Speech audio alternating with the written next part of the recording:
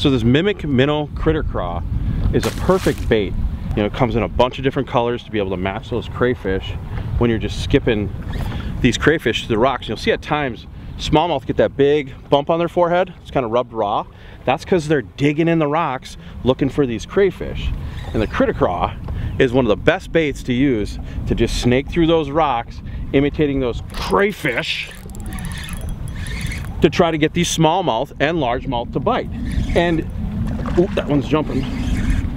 The cool part about it is the tails, you know, the claws, they sit there and just pulsate no matter how you're dragging that through the rocks. You know, you can do a straight retrieve with a heavier, you know, heavier weight on there and just do a straight retrieve and let those tails just, just flutter.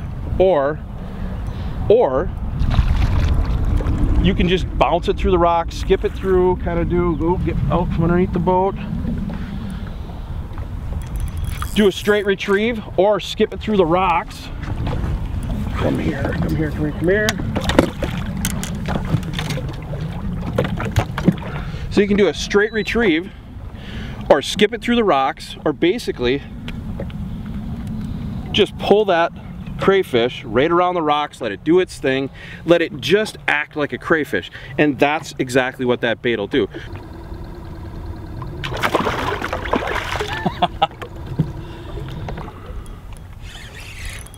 so we're hooked up again on the Northland Critter Craw and you know, I love I love Northland Tackle because they always give me a few of these baits before everyone else and I get to come down here and run them through the gamut down here on Mille Lacs.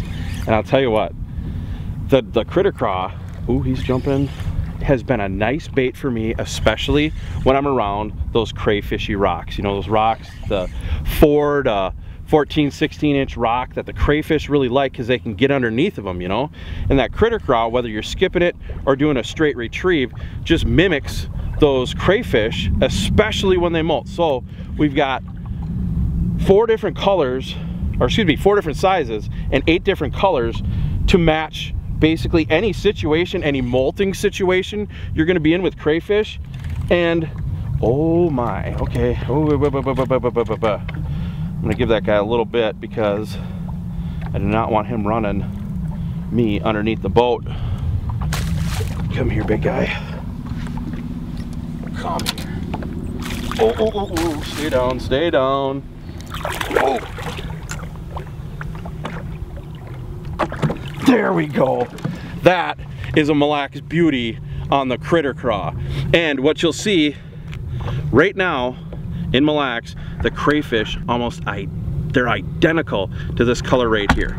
And right there, that is the product. So pick yourself up some, go out to the lake, take a look at what color your crayfish are, go pick up the critter craw in just about the same color, cast it around, skip it around the rocks, and this is gonna be your result.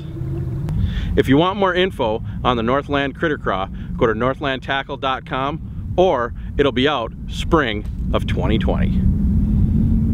Hey, if you like these videos, make sure you subscribe to our YouTube channel.